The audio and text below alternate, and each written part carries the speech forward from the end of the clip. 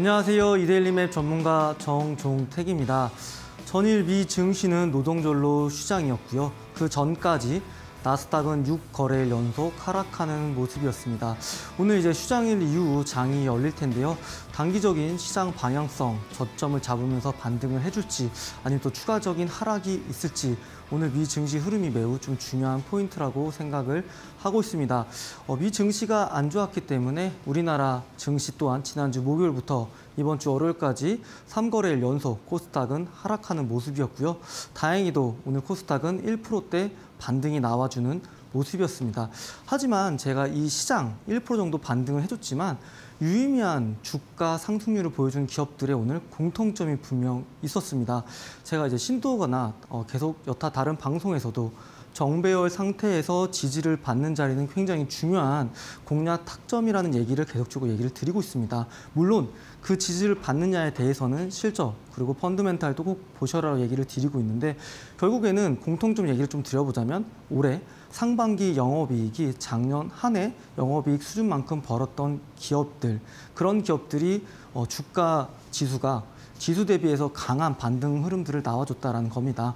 뭐 빅솔론이라는 기업들, 뭐 아모그린텍, 뭐 신성이엔지, 뉴프렉스, 레이크 머티리얼즈 이런 기업들의 공통점은 전년 동기 대비해서 계속 꾸준히 성장하는 기업이고요. 어, 그리고 재료와 테마도 뭐 태양광 쪽, 어, 태조 이방원 신조어가 있을 정도로 요즘 우리나라 증시를 이끌고 있는 주도 테마인데요.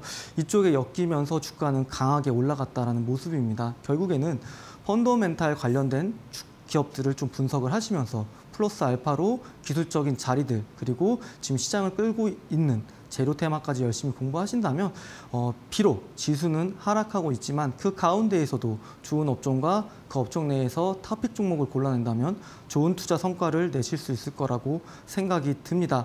물론 쉽지 않습니다. 숙달과 반복의 과정이 필요하고요. 그렇기 때문에 이 신대가 강의에서 계속적으로 여러분들에게 기술적 분석도 열심히 공부하셔야 되고 기본적 분석도 열심히 하셔야만이 어, 시장 대비해서 좋은 투자 퍼포먼스를 낼 수 있다는 부분입니다. 아무래도 방송 시간 제약상 많은 부분을 내용들을 설명드리기에는 한계가 있습니다. 저랑 실시간으로 좀 소통할 수 있는 방법 좀 설명드릴 테니 까 어, 시장 같이 좀 이겨내시면 좋을 것 같습니다. 참여 방법 안내드리도록 하겠습니다. 하단에 보이는 QR코드가 있습니다. 카메라 어플 실행하셔서 갖다 대시면 참여할 수 있는 링크가 나오고요. 링크 클릭하셔서 편하게 들어오시면 됩니다. 혹시 이 부분이 어려우시다면 샵 3772로 정종택 제 이름 세 글자 정확하게 보내주시면 어, 영어로 된 링크가 포함된 문자가 답신으로 갈 겁니다. 클릭하셔서 편하게 들어오시면 됩니다.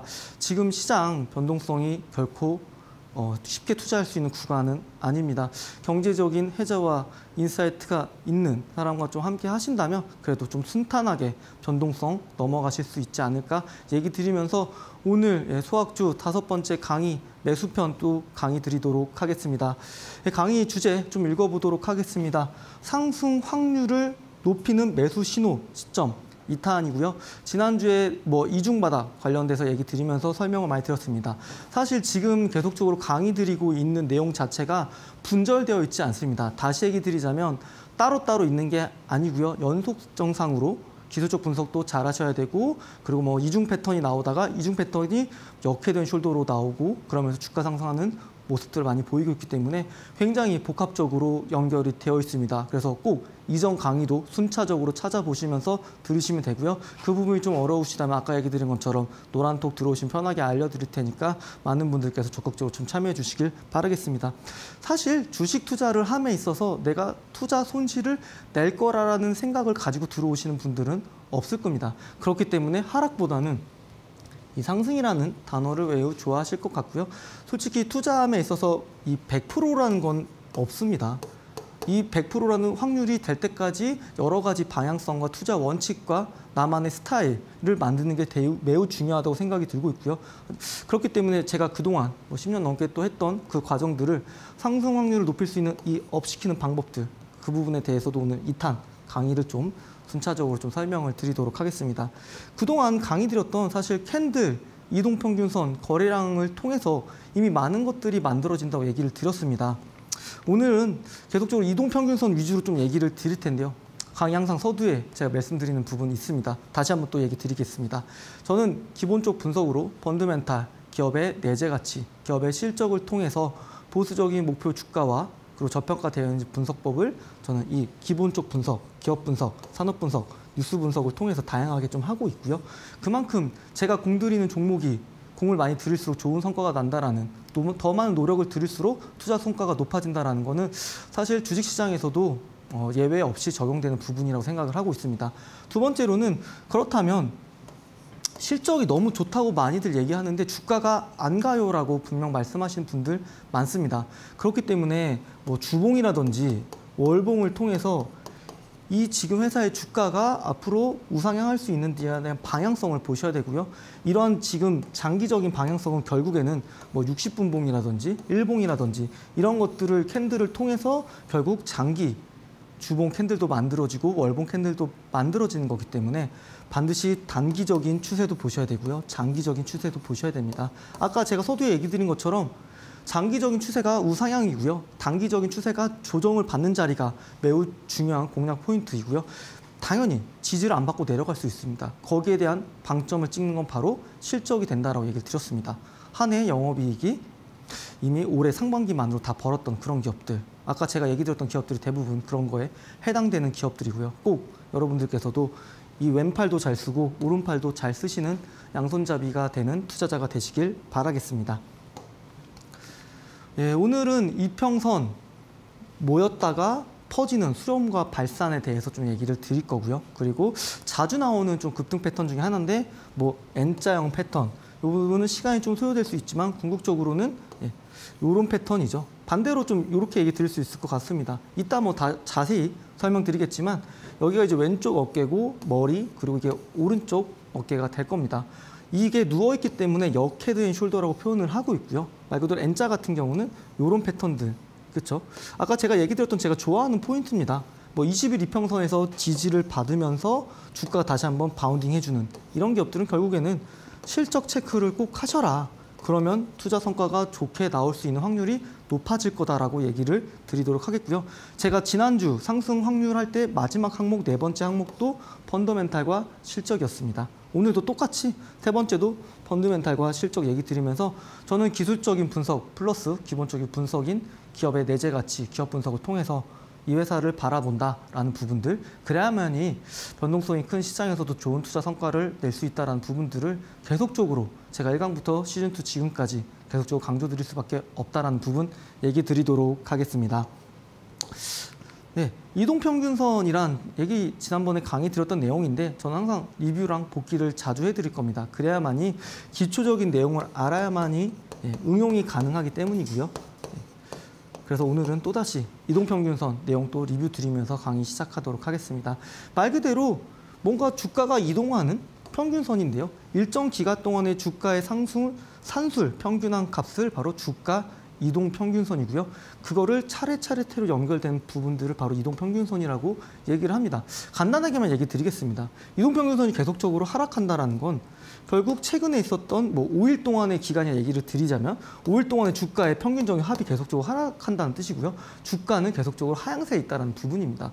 반대로 저희가 이동평균선에 대해서 굉장히 민감하게 봐야 될 부분 중에 하나가 이동평균선이 하락을 하다가 행보를 하고 방향성을 틀고 올라간다는 건 예전 주가는 계속적으로 하락했지만 최근 들어서 주가는 올라가고 있다는 포인트입니다. 그만큼 때문에 이동평균선이라는 걸 통해서 추세, 뭐 상승 추세냐, 하락 추세냐, 아니면 횡보 추세냐 이런 것들을 알 수 있을 것 같고요. 그렇기 때문에 이동평균선은 굉장히 많이 중요합니다. 이동평균선은 그리고 아까 얘기 드린 것처럼 주가에 의해서 만들어지는 거고요. 어, 주가는 또다시 거래량에 의해서 만들어지기 때문에 기본적으로 이제 기술적 분석 이야기를 할 때는 예, 캔들, 그리고 거래량, 주가 거래량 많이들 얘기하고 플러스 알파로 이동평균선 그리고 각자만의 보조 지표를 활용한다라는 부분들도 좀 연속 선상으로 또 얘기를 드려보도록 하겠습니다. 그만큼 이동평균선은 굉장히 많은 걸 의미를 하고 있습니다. 이 평균 데이터라는 건 굉장히 중요합니다. 제가 얘기 드린 것처럼 일봉보다는 주봉, 주봉보다는 월봉, 그리고 십자 캔들 자체가 하락에서 아, 상승에 있을 때는 하락 전환, 바닥권 했을 때는 상승 전환 의미한다고 얘기했고 신뢰도가 높다고 얘기 드렸습니다.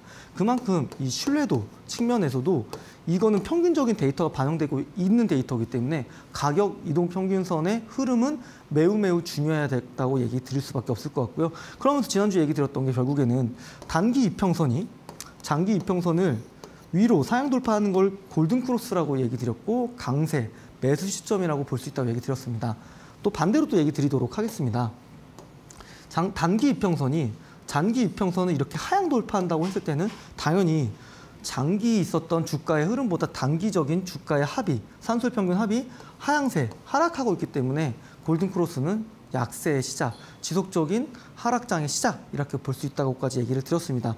이동평균선은 열심히 꼭 공부하셔야 됩니다. 오늘 얘기 드릴 정배열, 거기서의 지지, 그리고 역배열, 그리고 저항을, 바, 저항을 받으면서 주가가 세게 올라가지 못하는 이 뜻은 결국 상승의 흠이 크지 않다라는 뜻이기 때문에 이동평균선을 가지고 어, 타점과 공략 포인트과 매도 타이밍을 잡기에는 매우 중요한 부분이 되기 때문에 꼭 열심히들 공부하시고요. 어, 오늘 강의뿐만 아니라 이전 강의에 설명드렸던 이동평균선도 꼭 찾아서 반복 수강해 주신다면 어, 투자의 중요한 매수, 매도의 타이점을 좀 타점을 좀 찾아볼 수 있지 않을까 말씀드리도록 하겠습니다. 네, 계속 이어서 설명 좀 드리도록 하겠습니다. 네, 이동평균선 제가 아까 여기 드린 것처럼 바로 이때 20일 이동평균선을 예시로 좀 설명을 드려보도록 하겠습니다. 바로 이날의 종가를 포함해서 최근 20일 동안 영업일 20일 동안 주가의 산술 평균화 값이 바로 이동 평균선이라고 얘기를 드렸습니다. 그러면 이날 찍혀 있는 이동 평균선의 가격은 그 이전 그 당일을 포함한 그 이전 20일 동안의 가격을 산술 평균을 한 것이죠. 그러니까 1일부터 20일까지 있었다고 한다면 이거에 대한 종가 합산을 더하고 나머지 20일로 나누게 된다면 바로 이 시점에 20일 이동평균선의 가격이 나오게 되는 것입니다. 뭐 이 부분을 통해서 또 설명을 좀 드려보도록 하겠습니다. 이동평균선이 이렇게 하향을 하고 있습니다. 하향을 하고 있고 제가 이 얘기 드렸던 20일 이동평균선 캔들이 사양 돌파할 때는 매우 중요한 매수 근거가 된다고 얘기를 드렸는데요. 바로 이 타이밍 이후로 주가는 이동 20일 이동평균선 지지를 받으면서 크게 시세를 분출한 종목이 되는 것입니다.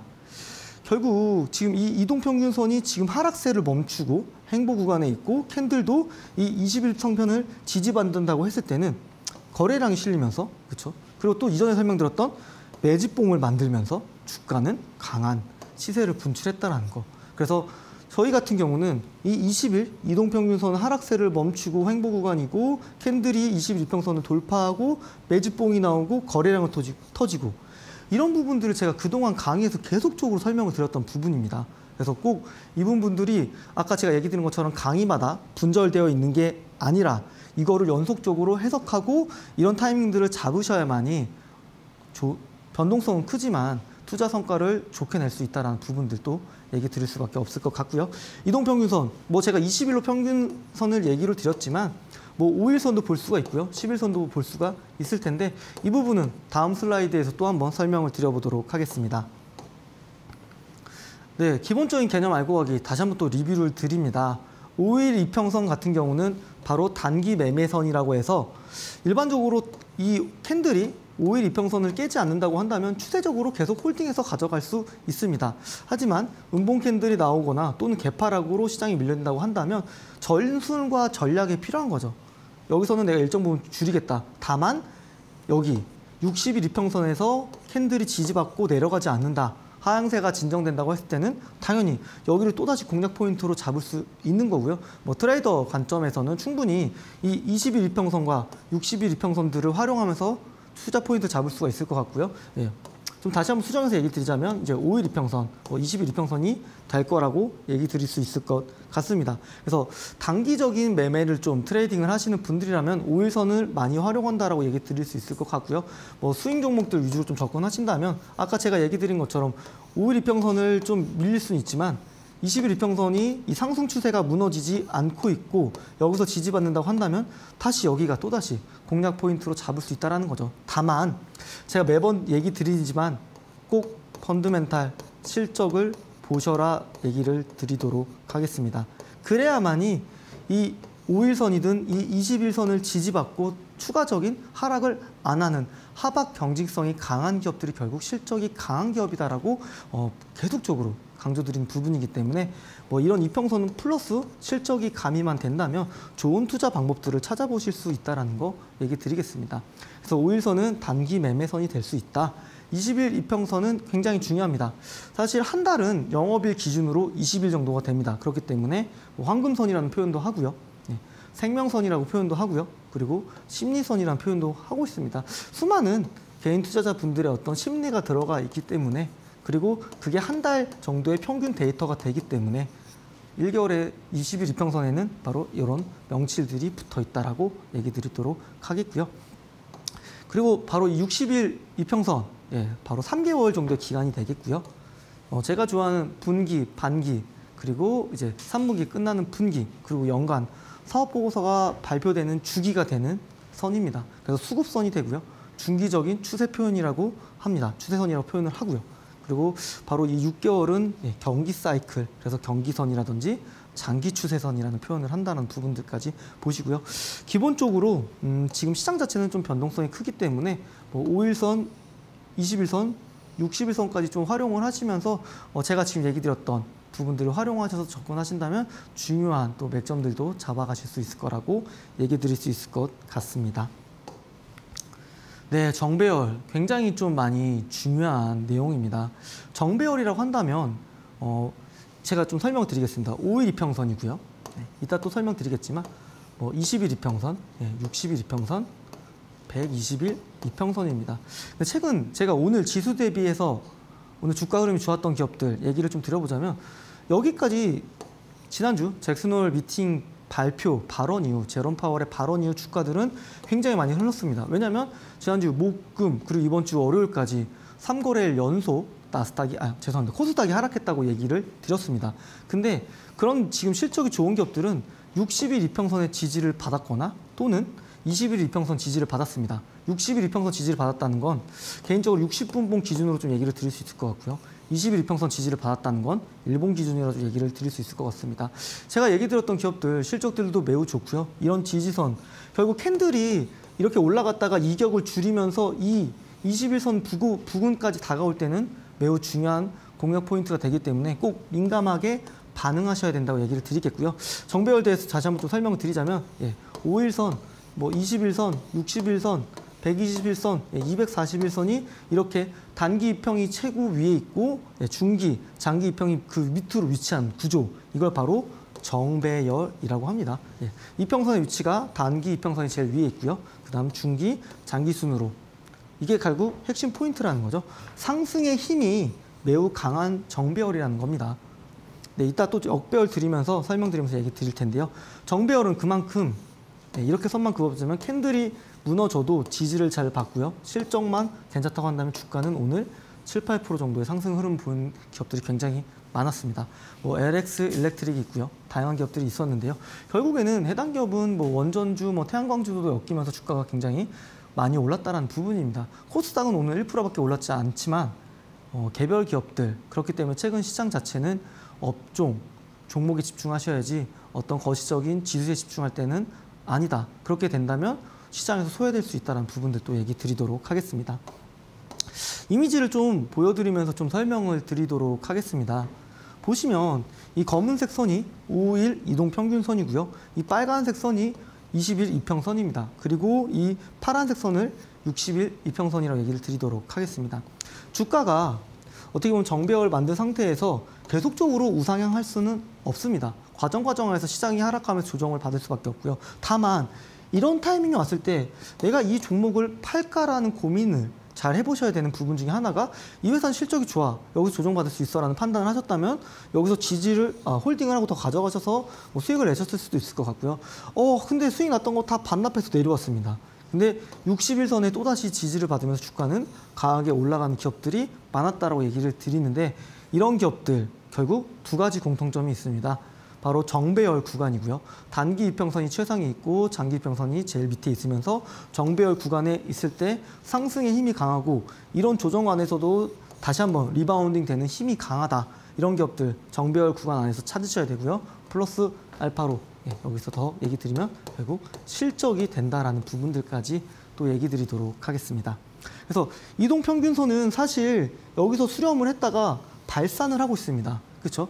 5일 이평선 그리고 20일 평선, 60일 이평선 다시 한번 좀 화살표를 좀 그어보자면 이 이격이 계속 넓어지고 있다는 걸 보실 수 있습니다. 예, 이걸 바로 이제 발산이라고 표현을 하고요. 결국 이동평균선이 수렴하는 자리는 굉장히 중요한 변곡점이 될 수 있기 때문에 이런 타이밍에서 실적만 보고 들어가신다면 좋은 투자 성과도 낼 수 있다는 거. 그게 곧 상승 확률을 높이는 어, 매수 신호가 될 수 있다는 부분들도 얘기 드리도록 하겠고요. 결국에는 이 주가는 계속적으로 올라갈 수 없고 또다시 또 조정을 받을 겁니다. 결국 그럴 때 판단을 하셔야겠죠. 다 이번에 곧 도래되는 3분기 실적이 어떨지, 4분기 실적이 어떨지 계속적으로 이 상승 추세가 이어질지에 대한 부분은 결국 미래 실적이 가늠을 해주기 때문일 겁니다. 그래서 꼭 정배열과 이 실적 두 개의 조합만 잘 활용하시더라도 좋은 투자 성과와 퍼포먼스를 낼 수 있기 때문에 오늘은 반드시 이 개념에서만큼은 꼭 알고 넘어가시길 바라겠습니다. 그렇다면 반대로 역배열에 대해서 좀 설명을 드려보도록 하겠습니다. 반대가 되겠죠. 그렇죠? 바로 이게 장기 이평선이 최고 위에 있고요. 그리고 이게 중기 이평선, 그리고 이게 단기 이평선 순으로 될 겁니다.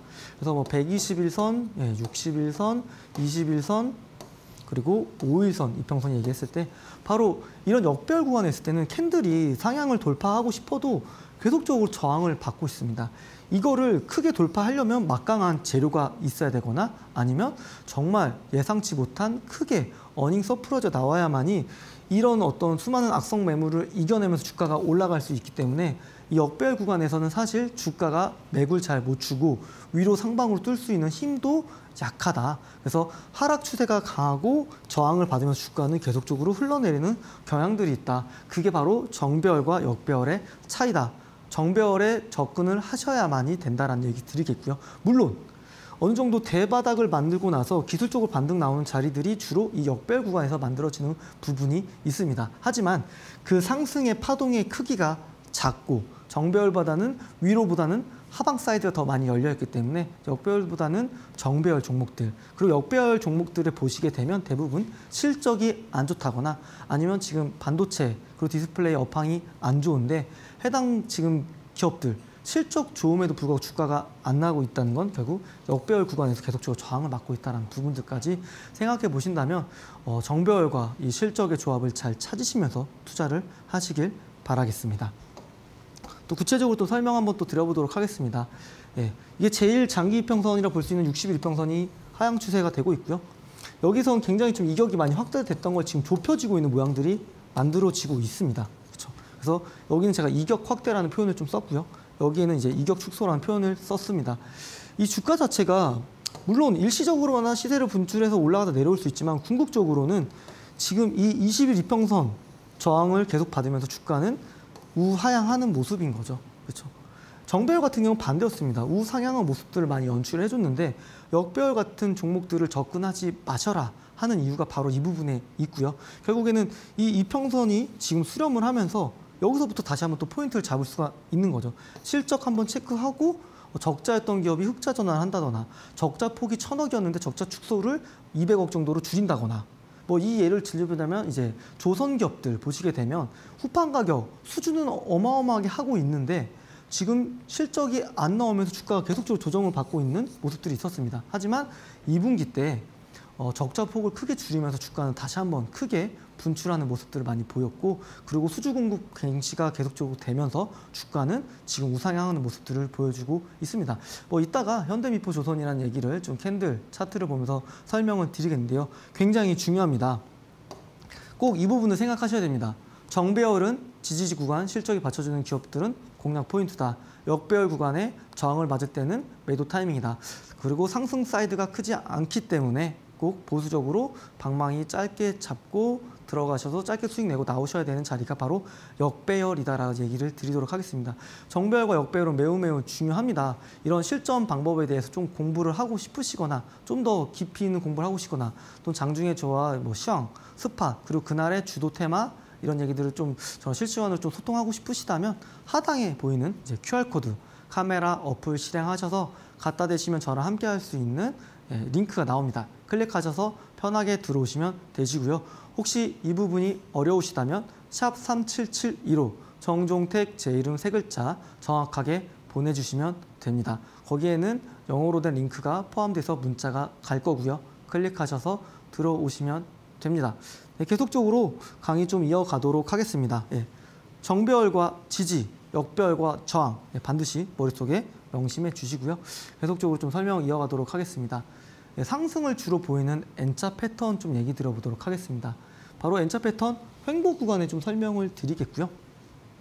이거는 이제 박스권에서 이제 주가가 움직이고 있는 기업입니다. 이 지지선을 돌파하고 저항을 맞았습니다. 사실 최고의 매수 타이밍은 바로 저는 여기 타이밍이 되리라고 생각을 하고 있습니다. 왜냐하면 첫 번째 시세 분출을 예단하기는 사실 쉽지가 않고요. 그렇기 때문에 여기서 어 실적이 분명 좋다라는 걸 확인을 했고 그렇죠? 만약에 20일 이평선을 돌파를 하는 모습들을 보여줬고요. 20일 이평선 부분까지 내려왔는데 이 20일 이평선은 상승하는 모습을 계속적으로 연출을 하고 있고 일시적으로 어, 주가는 내려갔다가 다시 올라가지만 바로 이런 지지받을 때가 주요한 바로 공략 포인트가 된다라는 거죠. 물론 이 회사의 주가가 어디까지 올라갈지에 대해서는 사실 예단하기가 쉽지 않고 변동성도 큽니다. 그리고 펀드멘탈과 실적이 아무리 좋더라도 지금 지수 따라서 주가가 밀리는 기업들이 많습니다. 그렇기 때문에 뭐 계속적으로 이따가 뭐 시간이 된다면 좀 설명드리겠지만 펀드멘탈 기준으로 이 회사가 현재 저평가되어 있는지 분석을 하실 줄 알아야 됩니다. 뭐 PER도 필요할 것 같고요. 그리고 EPS도 필요할 것 같습니다. 그렇죠? 그래서 저는 PEG라는 걸 통해서 이 회사가 현재 지금 주가가 저평가되어 있는지 부분들까지 분석을 하고 기술적 분석과 기본적 분석을 같이 하는 이유가 바로 여기에 있다는 부분들 얘기 드리겠습니다. 사실 매수 타이밍은 잘 잡았습니다. 아까 제가 얘기 드린 것처럼 애자 패턴을 만들고 캔들이 21평선 돌파를 하면서 21평선도 상승 추세를 한다면 좋은 매수 타이밍이지만 매도를 잘하는 것도 주식시장에서는 굉장히 중요한 기술 중에 하나이기 때문에 어, 이 기본적 분석을 통해서 기업 가치 분석을 하실지 모른다면 음, 짧게 더 좋은 기업이고요. 뭐 50% 70%갈 수 있는 기업이지만 더 짧게 수익 내고 날 수 있는 아쉬움을 가질 수 있는 기업이 되실 수 있을 겁니다. 그렇기 때문에 꼭 같이 병행하셔야 된다는 얘기를 드리겠고 어, N자 패턴은 주로 주가가 강하게 시세를 분출하고 눌림목이 나오는 자리에서 공략 포인트를 잡는다는 게 주로 N자 패턴이고요. 결국 이 마징에 이게 뭐 이런 표현을 많이 합니다. 이게 1파, 2파, 그리고 3파라고 얘기들을 많이 하는데요. 다시 한번 좀 적어보도록 하겠습니다. 네. 이게 이제 1파가 되겠고요. 바로 조정파가 2파가 되겠고요. 그리고 다시 한번 상승파. 물론 다양하게 얘기들 합니다. 뭐 정답은 없지만 제 개인적으로는 이제 3파가 나오는 이 상승, 이 3파의 상승 크기는 기업의 실적 분석을 하실 줄 아셔야만이 이 upside가 어느 정도 되는지 알 수 있다는 부분들 또 얘기 드리도록 하겠습니다. 그렇다면 어, 이 상승 추세에 있는 N자 패턴이 나오는 것도 한번 설명을 좀 드려보도록 하겠습니다. 똑같습니다. 어, 이 상승 추세에 있었고요. 다만 고무적인 건 바로 이 지지선, 이 지지선이 바로 위에서 저점이 만들어진다라는 게 상승에 대한 신뢰도가 더 높다라는 거죠. 그래서 횡보 구간에 있는 바로 이러한 N자 패턴보다는 이 상승 채널에 있는 저점을 높이는 그렇죠. 여기보다는 분명 저점을 높이는 곳에서 바닥을 만들었고요. 여기서 이제 바닥을 확인하고 나서 어느 정도 일정 부분 올라왔을 때 이런 포인트가 바로 공략 포인트가 되고 횡보 구간보다는 상승 구간에서에 대한 어떤 상승 신뢰도가 높다라는 부분들 또 설명드리도록 하겠습니다. N자 패턴은 사실 굉장히 시세를 분출하고 주가가 급등하는 기업들한테 자주 나오는 패턴이기 때문에 꼭 알아두시면 좋을 것 같습니다. 네, 세 번째 이제 하락 구간에 있습니다. 말 그대로 이거는 좀 반대로 좀 해석을 해보셔야 될 것 같은데요. 바로 이 고점을 낮추는 패턴이 나오게 되어 있고요. 그렇기 때문에 이 저항선을 뚫지 못하고 내려간다는 부분입니다. 다시 한번 얘기 드리자면 예, 역별과도 관계성이 높고요. 그렇죠? 바로 이 부분이 저항이 되겠습니다. 그렇죠? 그래서 이 하락 구간에 있는 N자 패턴은 뭐 크기 뭐 저희가 주식을 좋은 투자 성과를 내기 사는 거기 때문에 이런 패턴도 있구나 정도만 이해해 주시면 될 것 같습니다. 그래서 N자 패턴 매우 중요합니다. 다시 한번 좀 리뷰를 드려보자면 이렇게 고점도 높이고 네, 저점도 높이는 과정에서 이 첫 번째 눌림목 주고 rebounding 되는 이 시점이 중요한 공략 타점이 된다. 그래서 제가 얘기 드렸던 이 기술적 분석이 매우 중요하다라는 거 또 얘기 드리겠습니다. 네, head and shoulder 좀 얘기해 보도록 하겠습니다. 아까 좀 얘기 드렸는데요. 이 부분이 바로 왼쪽 어깨가 되고요. 이쪽이 바로 머리, 그리고 이 부분이 오른쪽 어깨가 되겠습니다. 근데 어, 이 하락의 신뢰도가 높인다라는 표현이 맞을지는 모르겠지만 왼쪽 어깨보다 오른쪽 어깨가 그렇죠. 바로 낮게 만들어지면서 고점을 낮춥니다. 아까 제가 얘기 드렸던 하락 구간에서 N자형 패턴이랑 비슷합니다. 그렇죠? 바로 이 패턴이 바로 하락 구간의 N자 패턴이 되는 거고요. 뭐 물론 이 가운데 안에서도 뭐 이중 바닥이라 하실 수 있지만 저점을 낮췄기 때문에 좋은 이중 바닥은 아니라는 것까지 다양하게 해석할 수가 있습니다. 그렇기 때문에 꼭 여러 개 복합적으로 그리고 과거의 패턴이 미래에도 반복된다는 게 결국 기술적 분석의 대전제이기 때문에 어, 여러모로 해석하고 여러모로 분부하고 여러모로 펀더멘탈 공부를 하셔야 되기 때문에 그런 부분도 얘기를 좀 드렸고요. 결국에는 헤드앤숄더는 예, 하락 패턴을 의미하게 됩니다. 그래서 왼쪽 어깨보다 오른쪽 어깨가 밑에서 만들어지면 거기에 대한 신뢰도가 더 높을 것 같고요. 저희는 적어도 네, 여기 구간을 1차 매도 구간으로 좀 해석을 해주셔야 될 것 같고요. 그리고 만약에 이 하락의 지지선을 또다시 이탈한다고 했을 때는 거기가 바로 최종적으로 정리해야 되는 구간이라고 얘기를 드리도록 하겠습니다. 그렇다면 반대로 만들어지는 부분을 좀 얘기를 드려보도록 하겠습니다. 반대라는 건 역 head and shoulder고요. 반대입니다. 누워있다라고 생각해 주시면 될 것 같고요. 바로 이 왼쪽 어깨보다 오른쪽 어깨가 반대로 위에서 만들어져야 됩니다. 또 얘기 드리자면 네, 상승 채널에서 N자형 패턴이 나오는 게 바로 이 머리를 만들고 나서 나오는 패턴이 바로 N자 패턴입니다. 그래서 N자 패턴은 어, 이 헤드앤숄더, 역헤드앤숄더와 연관성이 높고요. 꼭 열심히 공부를 하셔야 됩니다. 결국 이 마지막 상승 파동을 노릴 것이냐 아니면 이 구간에 진입하겠느냐라는 부분들 놓고 봤을 때는 어, 이 사이클을 내가 투자 성과로 내겠냐라는 판단들은 실적들 보시면서 기술적 분석을 같이 가미를 하셔야만이 좋은 성과를 내실 수 있으실 겁니다. 네, 지난주에 좀 얘기 드렸던 부분도 또 얘기 드려보도록 하겠습니다. 바로 이중바닥형. 네, 바닥을 확인했을 때 신뢰도가 높다. 그래서 첫 번째 바닥보다는 두 번째 바닥이 중요하다 얘기 드렸고 N자 패턴도 또 얘기 드려보자면 그쵸? 바로 이 두 번째 눌림목을 받는 구간에서 공략 포인트를 가져가야 된다라는 얘기를 드릴 수 있을 것 같습니다. 그리고 마지막 이 저항선을 뚫는 큰 양봉 candle이 나올 때 거기에 대한 신뢰도가 높다라는 부분들 이 자주 나오는 패턴이고요. 그리고 굉장히 많이 어, 언급될 수밖에 없는 패턴이기 때문에 헤드앤숄더, 역헤드앤숄더, 뭐 이중바닥, 그리고 이중 천장형, 뭐 쌍봉이라고 얘기를 하는데요. 쌍봉 패턴 등 다양하게 아셔야 되고요. 이런 부분들을 잘 알고 실적과 결합을 시켜야지 좋은 어, 주가 수익을 낼 수 있다는 부분들 또 얘기 드리도록 하겠습니다. 그래서 이 부분은 지난주 강의에 대해서 좀 다시 한번 좀 복기를 드렸습니다. 그래서 이 바로 저항선 뚫지 못하고 내려오면서 마지막에 큰 음봉 캔들이 나온다. 이거는 매도 타이밍 시점을 잡으시면 되고요. 이 패턴은 말 그대로 예, 이중바닥형이 아니라 쌍봉 패턴, 그렇죠? 그리고 W 패턴이 아니라 예, M자 패턴이라고 표현들을 하고 있습니다. 그래서 저항선을 계속 돌파하지 못한다는 건 어느 정도 내가 이 회사에 대한 비중을 줄일 시점이 됐다라는 부분들까지 얘기 드리겠고요. 뭐 상승도 중요하지만 잘 파는 것도 중요하기 때문에 하락하는 패턴들, 유형들도 같이 설명드리고 있다라고 좀 얘기 드리도록 하겠습니다. 이제 좀 실전 사례에 좀 들어가도록 하겠습니다. 실전 사례 기업은 바로 나노 신소재죠. 최근에 굉장한 공급 계약 공시를 하면서 주가가 크게 상승하는 모습을 보였습니다. 좀 얘기를 드려보도록 하겠습니다. 어, 좀 선을 좀 그어보자면 예, 빨간 선이 예, 단기 이평선이고요. 예, 파란색이 20일 예, 이평선 그리고 어, 다시 한번 설명드리겠습니다. 빨간색이 10일, 그리고 파란색이 20일, 노란색이 60일, 검은 선이 122평선이라고 생각해 주시면 되고요. 한번 좀 보도록 하겠습니다. 바로 이 이평선이 수렴되고 있는 이 구간을 좀 보셔야 됩니다. 어, 올해 초 3월 정도 됐던 시점이고요. 그 밑에까지만 하더라도 거래량은 사실 미미했었습니다. 그래서 제가 이때 구간을 A라고 좀 표현을 해봤고요.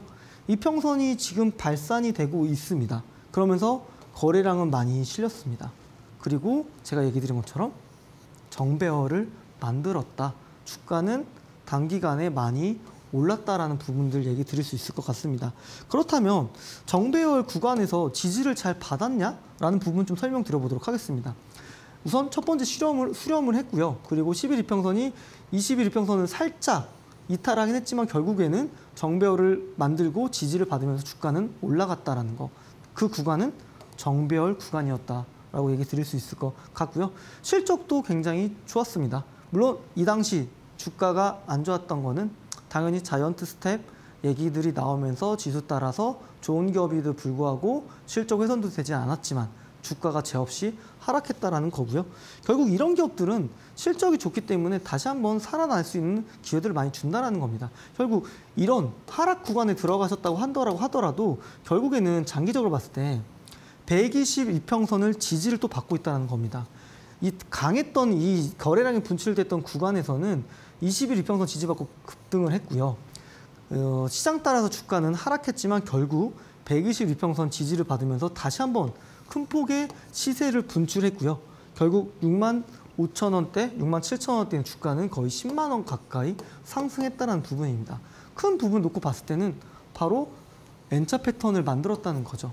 물론 저희는 어, 시간 가치에 대한 부분도 고려를 해야 되기 때문에 어느 정도 저항 부분에 왔다면 비중을 줄이셨어야 될 것 같고요. 하락하는 구간에서 그리고 122평의 지지를 받고 2분기 실적을 봤다라고 한다면 이 기업은 다시 한번 여기가 겁먹을 공포 자리가 아니라 공략 자리가 되었을 거라는 얘기를 드리도록 하겠습니다.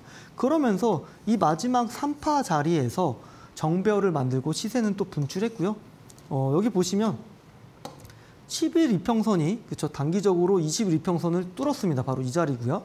그리고 60일 이평선을 또 뚫은 골든 크로스를 만들었고요. 바로 이 자리부터는 정배열 만들었고 주가는 조정을 받았지만 어, 이 60일선 지지 받으면서 다시 한번 상승했다라는 부분들 보셔야 됩니다. 제가 얘기 드리고 싶은 건 정배열 있고 어, 실적이 좋은 기업은 예, 크게 장기 이평선 이탈하지 않으면서 주가가 올라간다라는 부분들 체크를 하신다면 어, 수많은 어, 기간 동안 이 사이클, 1파 사이클에서도 좋은 투자 성과 내실 수 있었을 거고요. 혹여나 2파 사이클에 들어갔다고 하더라도 분할 매수만 잘 했다라면 바로 이 구간에서 고점에서 어, 들어갔다고 한다고 하더라도 여기서 추가 매수했던 평단은 여기 정도까지 올라왔을 거고요. 바로 그 이후에도 좋은 투자 성과를 낼 수 있다는 겁니다. 오히려 비중을 더 실었기 때문에 투자 수익은 더 좋았을 수도 있다는 부분들 꼭 보시면서 그만큼 정별과 지지를 받는 게 매우 매우 좀 중요하다라고 얘기를 드릴 수밖에 없습니다. 그래서 결국 다시 한번 좀 이 나노 신소재라는 기업의 주가 흐름들을 보기를 좀 해보도록 하겠습니다. 수렴을 했고요. 거래량이 터지면서 네, 이평선이 정배열을 만들었고 단기적으로 급등을 했다. 뭐 주가지수 따라서 내려왔지만 어, 60, 121평선 지지를 받았고요. 그리고 나 주가도 다시 한번 올라갔고 그 뒤로도 어느 정도 유의미했던 거래량이 터지면서 주가는 11일평선과 21일평선 이격을 좁혔다가도 확장 발산되면서 주가는 우상향하는 모습들하고 보였다고 나노 신서지 좀 얘기를 드릴 수 있을 것 같습니다. 두 번째 사례 또 얘기 드려보도록 하겠습니다. 현대미포 조선이라는 기업인데 제가 아까 얘기도 드렸습니다. 작년부터 LNG선 수주가 굉장히 많이 된다고 얘기 드렸고 어, 중국 따돌리고 우리나라 기업들 수주 1, 2위 차지했다라는 기사들도 많이 나왔습니다. 근데 왜 주가는 못, 못 갔을까요? 왜 이런 저항서들 받으면서 계속적으로 조정을 받았을까요? 결국 후판 가격이 굉장히 비쌌기 때문에 어, 수많은 수주 잔고에도 불구하고 수익을 내지 못했습니다. 매출액은 좋았지만 수익성은 적자였고요. 그렇기 때문에 그러한 실망 매물들이 바로 실적 시즌에 맞물리면서 주가는 이런 하락하는 모습을 보였다라는 부분입니다. 근데 결국 이 마지막 이 사이클에서 주가가 크게 올라갔던 이유는 바로 아까 얘기 드렸던 실적이 turn around 하는 기업이었기 때문입니다. 1분기 때 적자였고요. 2분기 때도 적자였습니다. 하지만 적자의 폭을 굉장히 많이 줄였기 때문에 기대감이 반영이 되면서 주가는 크게 올라갔던 거고요. 사실 이 회사에 대한 지금 이 N자 패턴의 세 번째 파동에서 주가가 크게 올라갔던 건 적자 폭을 줄이면서 하반기 때는 흑자 전환하고 그 랠리가 내년, 내후년까지 이어진다는 기대감입니다. 만약 지금 이 사이클 다시 한번 올리려고 한다면 3분기, 4분기 실적이 가시적으로 어느 정도 나와야 될 것 같고요. 흑자를 보여줘야 될 것 같습니다. 그 분위기는 QOQ 전 분기 대비해서도 계속적으로 성장하는 그림들을 그려야, 그려야 만이 물론 이 부분이 저항선이고 있고 고점일 수도 있지만 다시 한번 주가가 re-rating 되면서 올라갈 수 있는 포인트는 결국 하반기 실적과 2023년 상반기 실적이 되리라고 보고 있습니다. 참 재밌기 때문에 이 기업에 대한 캔들 좀 보도록 하겠습니다. 흐름들 같이 보도록 할게요. 보신다면 저점을 계속적으로 높이고 있습니다. 그렇죠? 이게 바로 작년 9월부터에 대한 흐름인데요. 보시게 되면 저점을 좀 계속적으로 높여가고 있는 부분. 하지만 고점도 높여가지만 고점 이 저항선을 맞을 때마다 계속적으로 반복되는 이 횡보 패턴을 보여주고 있습니다. 하지만 이 결국 마지막 이 2분기 실적 시즌의 도래가 되면서 실적이 어느 정도 적자폭을 줄였고 아까 제가 얘기 드린 것처럼 주가는 급등이 나왔다. 그러면서 주가는 거래량도 많이 실렸다라는 부분도 얘기 드릴 수 있을 것 같고요. 그 이전에 보시면 상승 기대감입니다. 기대감이었다가 주가 올렸습니다. 하지만 실적이 안 나왔기 때문에 또 거래량 줄면서 주가는 내려갔고요. 또 다시 기대감으로 올렸다가 주가는 올라갔지만 또 다시 실망 매물이 나왔고요. 다시 한번 또 거래량 실리면 주가는 올랐지만 또 실망 매물이 나왔던 겁니다. 결국에는 이 지금 산업에 대한 발목을 잡고 있었던 후판 가격이 가격 안정화가 되고 적자폭을 줄였기 때문에 이 마지막 사이클에서는 결국에는 큰 상승폭을 보여줬다라는 얘기 드릴 수 있을 것 같습니다.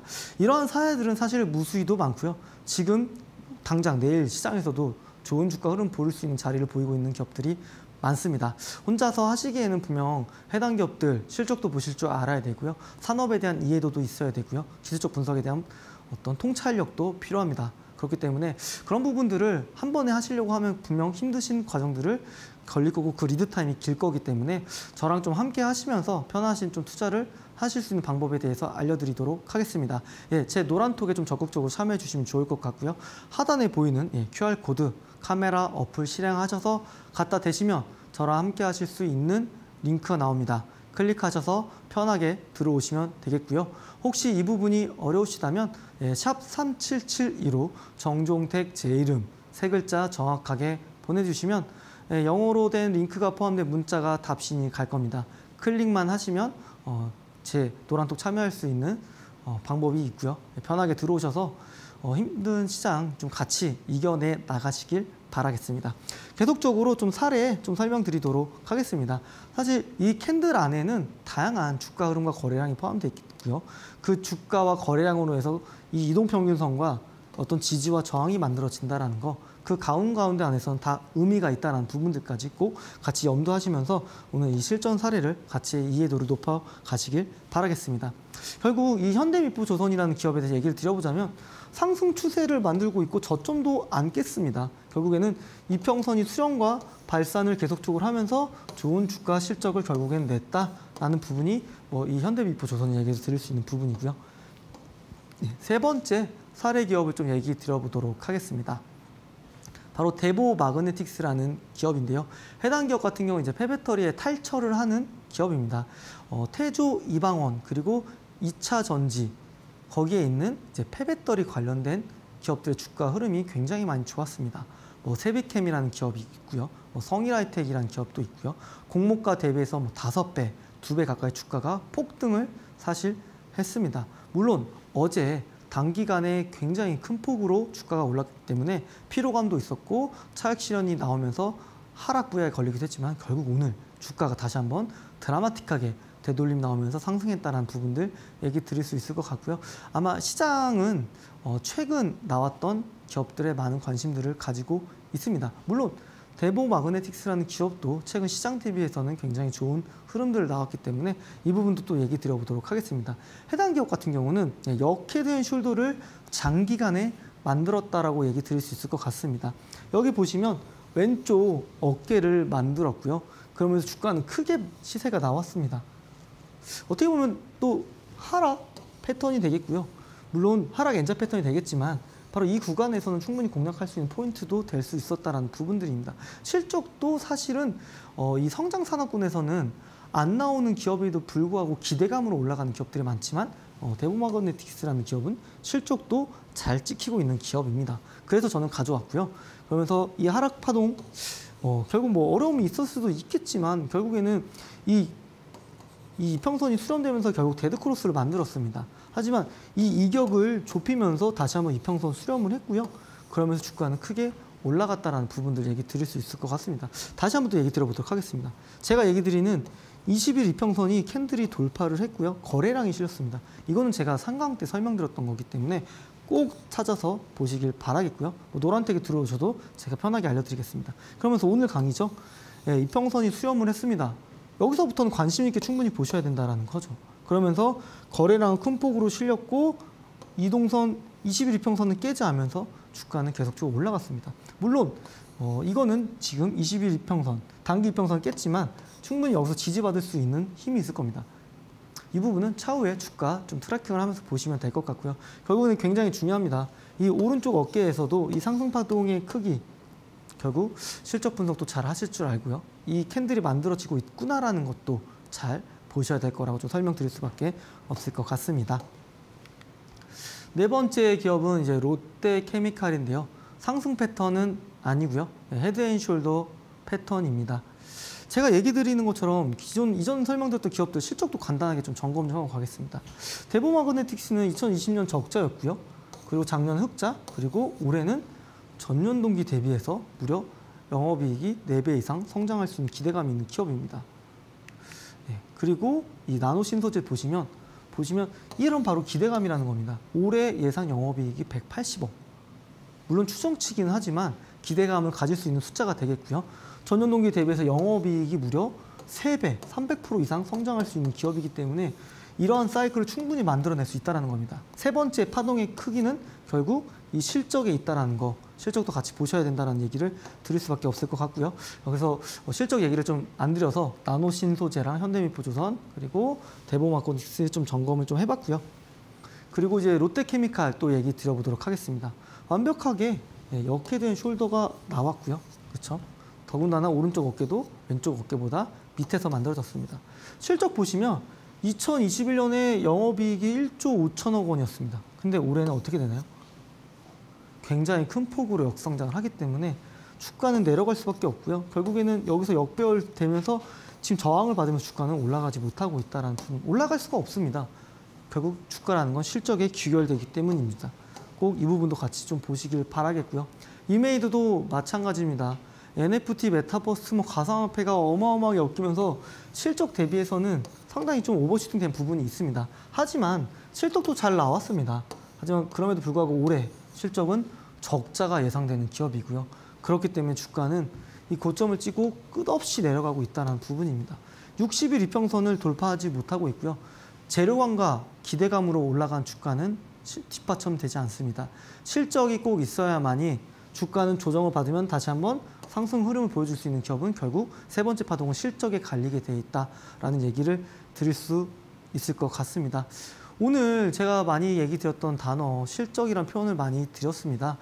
어, 실적뿐만 아니라 기술적 분석, 상승 추세가 이어지고 있느냐 그러면 단기적인 조정이 나왔을 때는 충분히 정배열과 지지받는 자리에서 공략할 수 있는 포인트를 가져갈 수 있다는 부분들 얘기를 드리고 있습니다. 꼭 같이 좀 겸비하시면서 투자 포인트를 잡아가시길 바라겠고요. 굉장히 어렵습니다. 한 번에 다 하려면 어렵습니다. 순차적으로 하시길 바라겠고요. 어, 저와 함께 하신다면 좀 편하게 하실 수 있고 제가 걸렸던 어떤 lead time들을 줄이면서 편하게 좀 투자 포인트 잡아갈 수 있는 얘기를 드릴 텐데요. 노란톡에 참여하는 방법에 대해서 좀 설명을 드리도록 하겠습니다. 하단에 보이는 QR코드 카메라 어플 실행하셔서 갖다 대시면 참여할 수 있는 링크 나오고 클릭하셔서 편하게 들어오시면 됩니다. 혹시 이 부분이 어려우시다면 샵 3772로 정종택 제 이름 세 글자 정확하게 문자 보내주시면 어, 영어로 된 링크가 포함된 어, 링크가 답신이 갈 겁니다. 클릭하셔서 들어오시면 저랑 함께 하실 수 있고요.